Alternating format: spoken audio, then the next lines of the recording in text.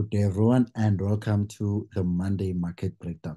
Now, guys, on this session, I'm going to be giving you an update on the pairs that we spoke about on our last session, and we're also going to be taking a look at the pair that you are going to be focusing on for this week. So, without wasting any time, let us get into it. So, as you do know, guys, we've been we've been focusing mostly on what in Euro GBP. So just to give an update to Euro GBP, so this eventually did do what did eventually hit our take profit.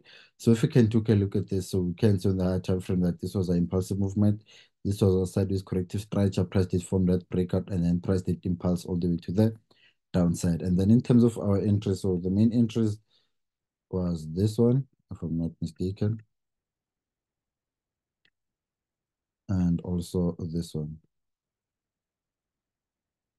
So these two, I think we survived. Uh, Press did not take us out on this second one.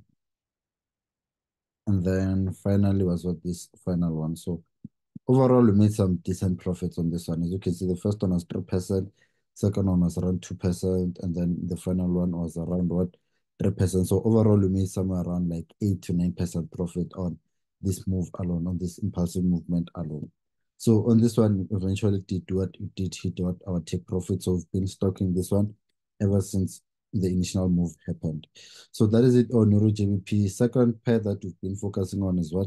The New Zealand dollar over the Swiss franc. So this one also higher time frame. What are we seeing on the higher time frame? So higher time frame, this is an impulsive movement, sideways corrective structure, price forming a breakout. So anticipating for this to, continue to drop all the way to the downside. So currently, we are still in position with this one for somewhere around like 6% profit. And also on the second position, you're running somewhere around 1.2% profit on this one. Guys. As you can see, we're still holding some decent profits on this one. So this is still having what some more potential to continue to drop all the way to the downside. But I'm going to give you an update if that continues to drop to the downside. And now the pair that you're focusing on for this week is going to be the euro over the Swiss franc. So this one, me give you a breakdown.